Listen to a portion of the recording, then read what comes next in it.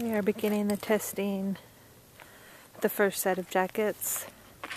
These jackets are rated 3A, which means they can stop a 44 caliber. So we will, we are out here at Lexington. We will be testing the jackets to make sure they hold up to the standards of which they are created.